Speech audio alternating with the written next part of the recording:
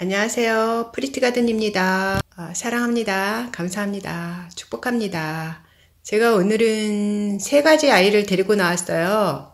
이거는 이제 쪼꼬레끔은 제가 이제 지난번에 분갈이 하면서 모두 말씀을 드렸고요. 어, 쪼꼬레끔은 그냥 분갈이 해서 예뻐서 한번 보여드리려고 나왔고요. 예쁘죠? 쪼꼬레끔. 이렇게 금은 쪼꼬레색하고 이렇게 분홍색 쪼꼬레금은 이렇게 두 가지가 골고루 섞여 있는 게 이렇게 통통한 게 예쁜 거랍니다. 지난번에 데려온 아이보다 이 아이가 아주 건강하고 예뻐요.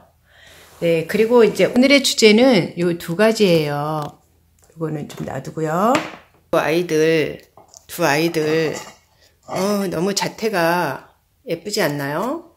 고급스러운 자태, 뭐 옛날 중전마마 같은 그런 자태를 가지고 있네요. 이 아이들은 그러잖아도 여왕이라기보다는 중전마마 같이 아주 고귀하고 우아한 그런 자태를 나, 타내고 있어요. 하나는 레드 노블, 네, 하나는 수연이에요. 네, 요게 두 개가 좀 약간 비슷한 듯 하면서도 아주 이쁘죠. 이 아이 둘이 속이 똑같아요. 에케베리아 속이고요. 원산지가 똑같이 한국의 원산지예요. 그래서 굉장히 좀 한국적인 것 같기도 해요. 생긴 것들이 에케베리아 속은 장미 문양이라는 거는 아시죠?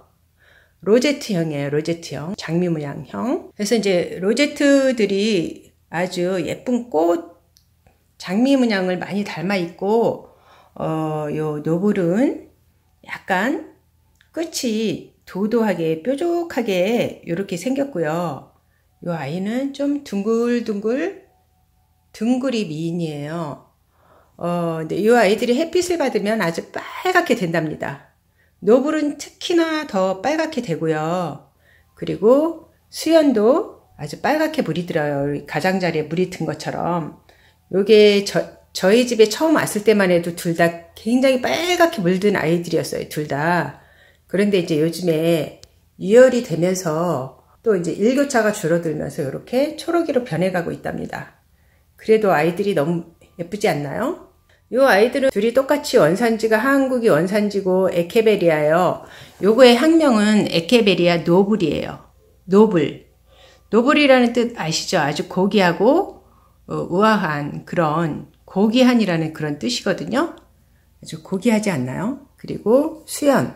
둥글둥글하니 진짜 옛날 어, 중전마마 같은 그런 자태를 나타나고 있어요. 귀한 자태를. 저요 수연은 요것도 에케베리아 이름이 수연이에요. 둘 다 학명도 그렇고 원산지도 그렇고 너무너무나 비슷해요.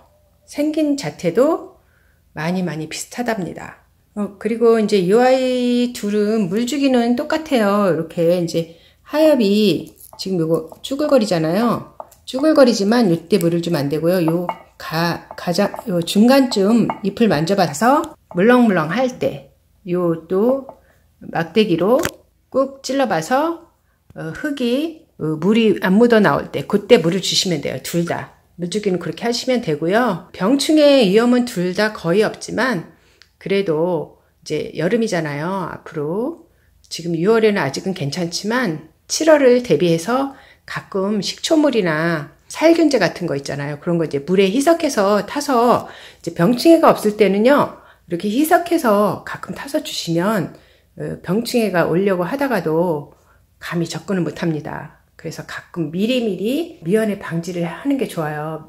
병충해가 한 번 오면은 없어지기가 쉽지 않거든요. 없어졌다가도 또 생기고 하는 게 병충해거든요.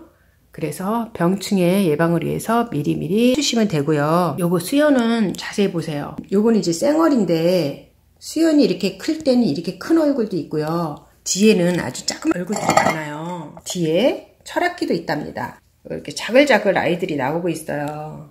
이 아이 둘 다 이꼬지보다는 이렇게 적심을 해서 어, 이렇게 뭐 어, 자구를 따서 삽목을 한다든지 아니면 꼬집기 같은 거 있잖아요. 여기 가운데 꼬집기, 이것도 가운데 꼬집기 이런 것 등으로 자구 번식을 많이 한답니다. 꼬집기 같은 거를 해주면 지금보다 더 이렇게 자글자글 아이들이 많이 나와요. 이렇게 적심을 해서 삽목을 해주면 또 이만큼 커지는 아이가 수연이에요. 아주 잘 자라는 아이입니다. 그래서 이 아이들은 생긴 것도 비슷하면서도 같은 한국이 원산지이고 에케베리아 속이고 그래서 거의 비슷하게 같이 키우시면 돼요. 이렇게 하나하나씩 놓고 보겠습니다. 하나를 놓고 보니까 너무 예쁘죠? 큰 왕큰이, 얼큰이 얼굴도 있고 조그만 자글자글한 철학기도 있는 그런 아이예요. 자태가 너무 예쁩니다. 노란 화분에 이렇게 심어지니까 수연이 빨간색이라 그런지 너무 잘 어울리는 것 같아요. 노란색 요 화분에 앞으로 더욱더 자글자글 아이들이 많이 나오길 바라고요. 네, 노블도 자세히 한번 보여드리겠습니다. 이거는 이제 보통 노블이라고 하기도 하고 레드 노블이라고 하기도 하죠. 빨갛게 물들면 레드 노블이 되는 거고 이렇게 파란색으로 되면 노블이 되는 건데 이거는 음, 처음에 왔을 때는 아주 빨개졌어요. 가을부터 또 물들기 시작해서 봄까지 아주 빨갛게 물이 드는 아이랍니다. 요 아이도 마찬가지고요. 수연도 가을부터 물이 들기 시작해서 어, 봄까지는 아주 빨개지는 아이예요. 또 햇빛을 좋아하고 바람 좋아하고 물도 좋아하지만 물 주시는 거는요. 조심해서 주시고요. 네, 그리고 마지막으로 이 아이들 건강하고 튼튼하게 키우려면 영양제 잊지 않으셔야 되겠죠? 저는 요즘에 이제 그 하이 아토닉이 다육이한테도 엄청 좋다는 걸 알아가지고 하이 아토닉을 좀, 음, 물줄 때 자주 사용합니다. 물 줄 때 500대 1로 희석해서, 어, 타셔가지고 위에다가 살살 조금씩 주시기도 하고 또 이렇게 가끔 살포해서 주시기도 하면 아이들이 반뜩반뜩 하면서 아주 잘 자랍니다. 오늘도 요 노브라고 수연 아주 매력적인 아이들 우리나라 말하자면 중전 마마의 기태를 가진 아이들 그런 아이들을 감상하면서 오늘은 여기서 마치겠습니다.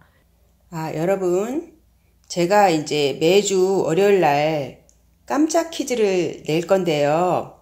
저 뒤에 두 개 있잖아요. 이름을 맞춰 주시는 분께 추첨을 해서 토요일 날 추첨을 해서 매주 이제 월요일 날 보내드릴 건데요. 요렇게 이제 두 분을 추첨을 할 거예요. 요거랑 요거랑 두 개, 요거랑 요거랑 두 개 이렇게 이렇게 하나 하나 두 개를 이제 이렇게 보내드릴 건데요. 그 앞에 거는 그냥 제가 가르쳐 드릴게요. 요거는 온슬로우이고요. 요거 두 개는 요 두 개만 맞춰주세요. 요거 쉬운 거거든요, 둘 다. 네, 쉬운 거 요거 이렇게 이름을 맞춰주시면 제가 맞춰주신 분만 뽑아서 추첨을 해서 두 분에게 요거를 토요일 날 추첨을 할 겁니다. 요 댓글, 요 영상의 댓글에다가 다 해주셔야 돼요. 매주 월요일 날 이렇게 어, 제가 깜짝 퀴즈를 낼 겁니다. 하나, 하나. 이렇게 두 분을 추첨을 할 겁니다. 네, 여러분 많은 응모 바라고요. 깜짝 퀴즈 매주 월요일 날 있을 거니까요. 기대해 주세요. 네, 여러분 항상 저희 채널 이렇게 사랑해 주시고 시청해 주셔서 너무 감사드리고요. 제가 여러분에게 조금이라도 보답해 드리고자 이렇게 깜짝 퀴즈를 내기로 했답니다. 항상 저희 채널 어, 시청해 주시고 사랑해 주셔서 너무 감사드리고요. 어, 진심으로 여러분께 어, 사랑하는 마음으로 또 감사하는 마음으로 축복하는 마음으로 항상 임하는 자세에 잃지 않고 처음과 끝까지 항상 똑같은 자세로 여러분께 많은 정보를 전달해 드리고 저희 채널에 와서는 많은 것을 얻어서 간다라는 그런 음, 자세로 제가 계속 이 영상을 진심으로 만들겠습니다. 네, 여러분 깜짝 퀴즈 어, 많은 응모 바라고요. 이 영상의 댓글에다가 두 가지 요거하고 요거 이름 달아주시면 됩니다. 네, 여러분 오늘 월요일인데 힘차게 시작하시고요. 항상 긍정적인 마음, 나는 행복하다라는 생각을 하시면 행복이 찾아온대요. 여러분도 항상 긍정적인 마음과 아, 나는 행복하다라는 생각을 가지시고 어, 생활하시면 아주 밝고 힘찬 한 주가 될 것 같습니다. 네, 여러분 오늘도 많이 사랑하시고요. 많이 웃으세요. 감사합니다.